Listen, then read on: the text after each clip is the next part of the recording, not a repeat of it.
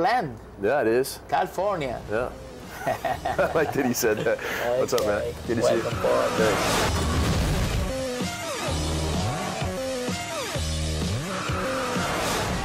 Nice, nice movie, man. Thank you. Yeah, Thanks. yeah, yeah. It's yeah. fun to make.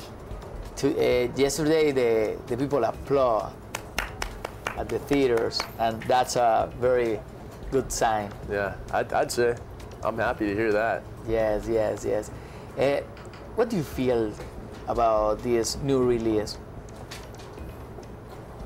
Man, you know, for me, it's really based on, my reaction is based on the general public's reaction. Now, I don't know if I like something until I know the people like it. You know, especially in movies like this, where the people, that the fans, they're very passionate about it. And, uh, you know, the first one was well received, the second one was well, well received, and now here we are making a fourth one. Um, I don't want to disappoint, you know? There's a lot of fans out there, so if they're happy, I'm happy. That's pretty much what it comes down to. What about Tego Calderon and Don Omar? Did you play, did you dance uh, reggaeton? I love reggae music. Oh, yeah? Yeah. And reggaeton too? What's reggaeton? Reggaeton is the music that It's they more, play. more Latin yeah. style. Ah, yeah. yeah. I like it. It's cool. Okay. right, Thank you very much, man. Oh, thanks.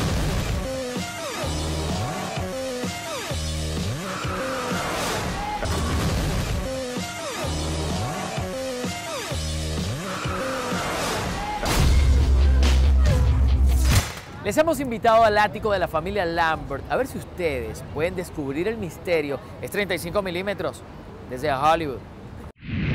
the camera and just uh, we'll just follow Lynn back. And then you want me to hang back, John, with the light, the lantern, well- sort of lighter? Where were you relative to her last time? Well, she was always in the dark. That was the thing. She was Right, I never in the understand. shadow. So I understand. Well, but James discussed with me um, when they were writing the first one, he said, I keep going back and forth about having you killed at the end of it because if there's a sequel, I'd love to bring you back. And then he said, but then I remembered we're making a ghost movie. and that, of course, you know, there's a place for you to come back in the further. So um, in the beginning, we weren't revealing too much about it. People didn't, because people kind of assumed I wasn't coming back. And um, I, needless to say, I'm really happy that it's worked out. Okay. Ready? And three, two, one, action! James talked about using really human elements of comfort um, that we all have our family, our bedroom, our children, our front door, our piano. I mean, things that give you uh, joy, and then kind of turning them on their head. And um, it was clear when he was doing that that it was going to kind of, I think that he, he, he, we knew he was going to lure people in.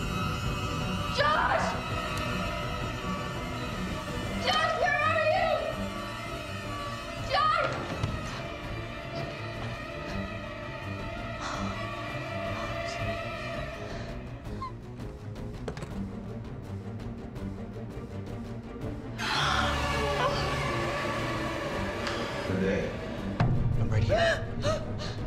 What? Lenny.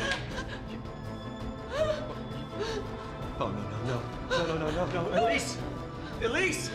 Your mom get told not here? Call an ambulance! No, no, no, no. Elise! Oh, no. No, no. What? Why are you looking at me like that? You think I did this? And he doesn't do cheap scares. He doesn't do the you know cat suddenly. It's stuff that it's almost like when you're a little kid and you think he saw something, and I think he a lot of his scares are peripheral. They're just a little and like the little boy running through, which is just like that freaked me the hell out. So I just want the camera to stay very long so he wakes up out of the shot and we're picking up.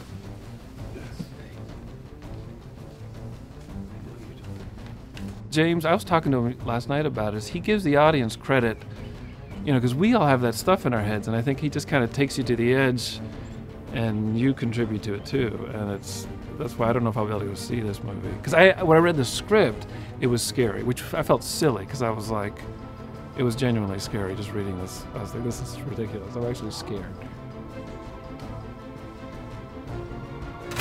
La primera parte de Insidious tuvo costos de producción por 1.5 millones de dólares y logró recoger en taquilla más de 100. Con El Conjuro, también dirigida por Mr. One, se recogieron unos 260 millones de dólares. Por eso se dice que James Wan es un hombre que sabe manipular a sus audiencias y nosotros decimos aquí que el señor Wan también sabe manipular las finanzas. And then when they come in, you know, hopefully at some point the whole resource takes, gets taken over. So, you know, we're trying to meet at the same point and just miss each other. And then I'll cut into it the moment it goes past. One of the things you know you always hear people tell you about um, their ghostly experiences that they have, right? Is it, it's always the same. It's always like, um, you know, I'm working away there, and then through my peripheral vision, I think I see someone walking by. Right? It's when we hear stuff like that, we go, that is the creepy stuff. And that's the kind of creepiness I really want to capture for the camera. And so when we design our scary set pieces, right, we try to shoot in such a way where the audience is looking at things through the peripheral visions as well of, of what they're seeing. And so, um, so you know, we, we try to come up with these set pieces that fit perfectly into that, that basically that concept. Listen, That, that looks easy. yeah, still, I can still, I can still miss the ground. Like, let's start as close as we can, right? Then when he stands, we tip up anyway, right? Mhm. And then we. The idea of astral projecting that, you know, when you're asleep at night, your soul or your spirit or whatever you want to call it, your astral body leaves your physical body and goes floating off. That's kind of a cool concept, and it's something that James and I had only really heard about it in the context of like new agey, like, you know, meta yourself, astral. But we thought it was essentially the idea of, you know, your soul leaving your body and going off exploring is the perfect conceit for a horror film. So we were always saying, why hasn't anyone used astral projection? And that's one of the main things that, that, that gets us excited when when it comes to stories is some idea or concept that we feel like has not been used before and we hadn't seen astral projection in any other Right. film. Yeah. Actually, I do like the idea. Even if we sort of back here, we see a lot more landscape, That- a lot more real yeah, just a estate. little bit of something. And then he goes, he sits down, we dissolve between the two shots, and then he gets out, and we realize, ooh, now Yeah, that's cool. somewhere else. En minutos más detalles escalofriantes acerca de esta película aterradora. No se desconecten. Es 35 milímetros desde Los Ángeles, en California, solo a través de la señal de Venevisión Plus.